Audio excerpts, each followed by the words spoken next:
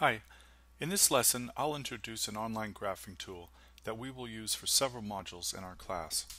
We're also going to build on the idea of a different representation of a function. We began with the input-output idea. In this video we'll touch upon the slope-intercept form of the function equation. If you remember we used tables earlier on to represent the input and outputs of functions. Here, let's revisit one of the more simple functions we've looked at before. This one is y equals minus 2x plus 5.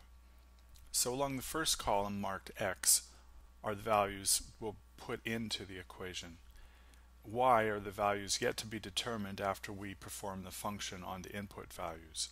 So for the first line, if we put minus 2 in for x, the function becomes minus 2 times minus 2 is 4, and then plus 5 is equal to 9. So if we put in minus 2, the function returns 9. If we go ahead and put in minus 1, the function becomes minus 1 times minus 2, which is 2, plus 5, resulting in 7. If we put 0 in for x, that negates that term and all we're left with is 5. If you see a pattern here, you're correct. As we increase x by 1, y decreases by 2. So the next value here is 3, 1, minus 1, minus 3, minus 5.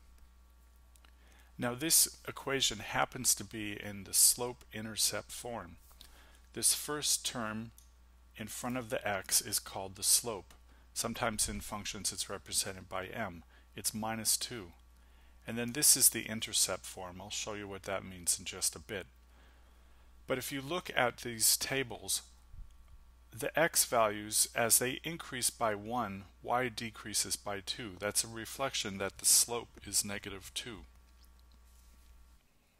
So let's go ahead and move on to the next phase of this lesson. I want to show you how to visually represent this function as a graph. And we're going to use an online graphing tool called fooplot.com. So I'm going to go over here and open up an empty browser window and the address for fooplot is f-o-o-p-l-o-t.com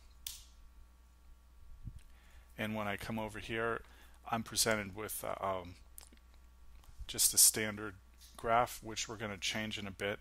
Notice how the graph isn't quite rectangular, and what I want you to do for assignments is drag this by the little corner, and when you pull down, you can see in the center near the origin the dimensions of the graph in pixels. So I've changed mine to 650 by 650, and if I scroll down the web page a bit more, I can now change the axes bounds from minus 10x to 10 and if I copy that to the y-axis using this small orange arrow there then the graph becomes square and the units are square.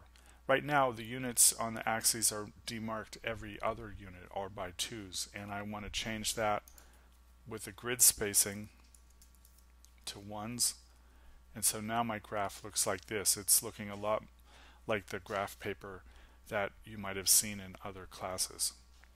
So the, the first thing I want to do is uh, show you how to enter in point values. The point values, if we go back over to our function in the table form, every x value is paired with its resulting y value. So if we look at minus 2, that's paired with 9. Minus 1 is paired with 7. And these things translate to coordinates in the Cartesian plane. So what we're going to do is come over here and I can add a variety of things to this graph using fooplot. I'm going to change it though from a function using the drop down to points. And I'm going to click add.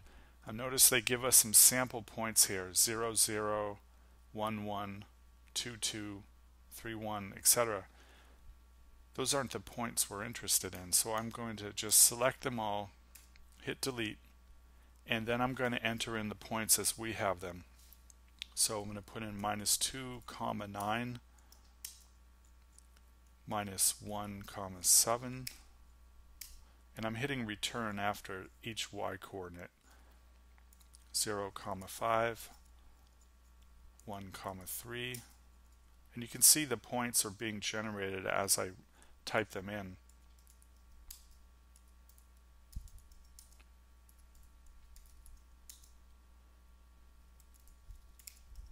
You can also see that the points are forming a line.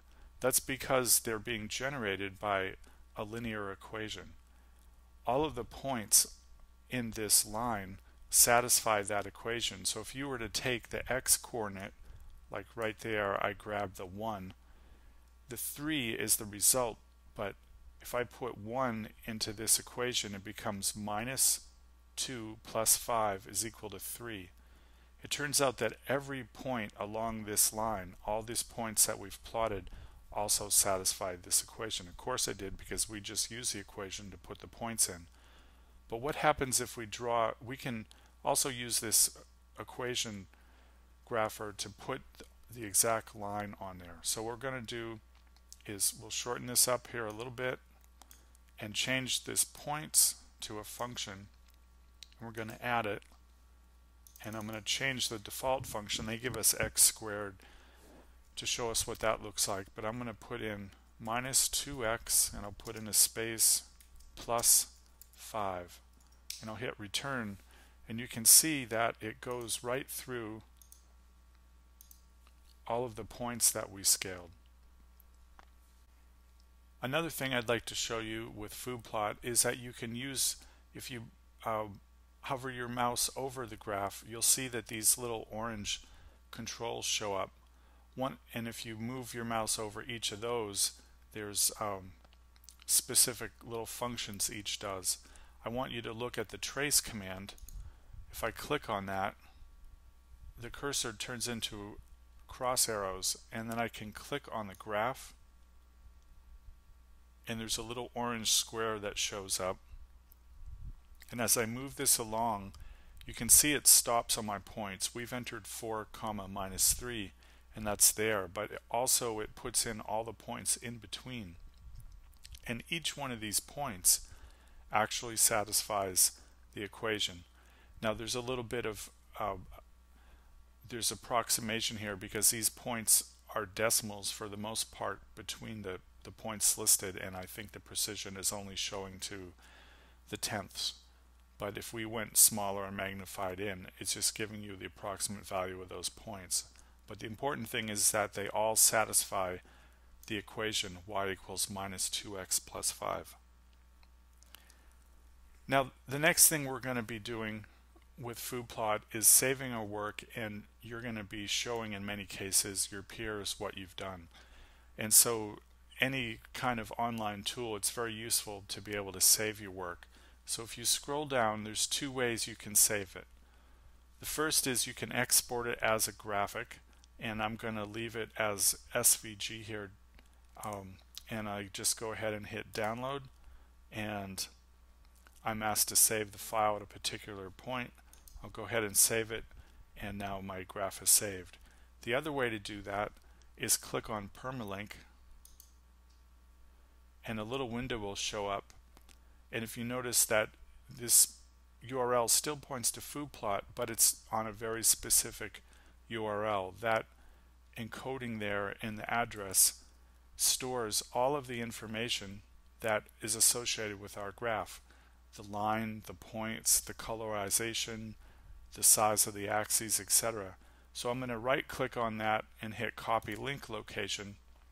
And just to show you that this has saved everything. I'm going to come up here and close our window out and then I can go open up a new blank window and I'll paste that address in, hit return, and the entire graph has been recreated. So that's a nice easy way you could email me and assignments or submit them on a blog for discussion. That's the end of this lesson. I'll see you back on the blog for comments and get a hold of me if you have any questions. Thanks.